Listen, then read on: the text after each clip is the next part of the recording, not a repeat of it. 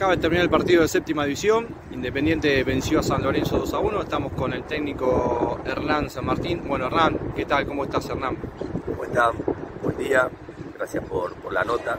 Bueno, terminamos, no terminamos ganando, pero terminamos haciendo un año muy bueno.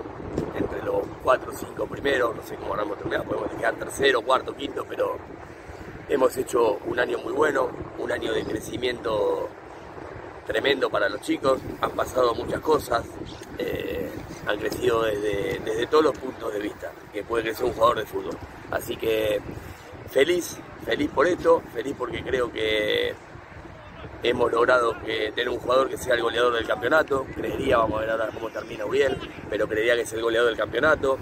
Y bueno, una categoría que peleó hasta las últimas dos fechas el torneo, que no es fácil, ¿no? Un torneo donde hay jugadores muy bueno en todas las categorías, donde, donde tenemos que, mejorar en un montón de cosas, de aspectos, pero, pero principalmente la infraestructura de San Lorenzo tiene que cambiar para, seguir generando y formando jugadores de fútbol. Así que eh, es un, resumen muy bueno, a todos nos hubiese gustado terminar el campeonato de la mejor manera, pero hemos, hemos demostrado en todas las canchas que jugamos de igual a igual y como les dije hoy en la charla técnica, lo que más me llevo de este grupo es que eh, el escudo de San Lorenzo siempre estuvo por arriba de todo y lo defendieron a muerte. Así que ojalá que algún chico de esta categoría en algún en uno, dos, tres años pueda jugar en primera y como siempre les digo que la camiseta de San Lorenzo se defiende con lucha y honor y garra y tesón, que fue la, la idea que tuvimos del primer momento.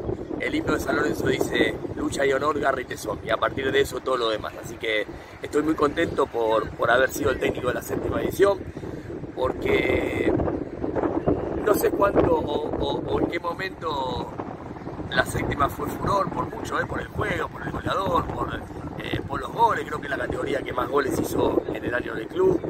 Eh, así que nada, feliz por, por, por cómo siguieron las cosas.